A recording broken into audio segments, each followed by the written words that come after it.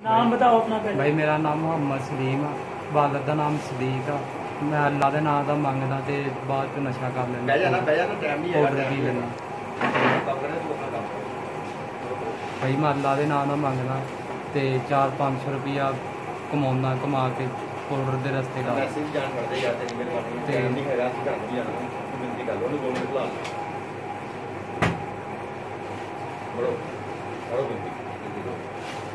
ਕਿਸ ਚੀਜ਼ ਦਾ ਨਸ਼ਾ ਕਰਦੇ? ਪਾਊਡਰ ਦਾ ਕਰਦਾ।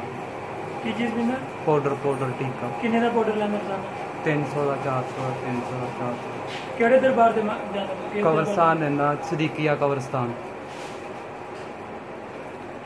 ਮਲੰਗ ਬਣ ਕੇ ਮੰਗਦਾ। ਹਾਂਜੀ।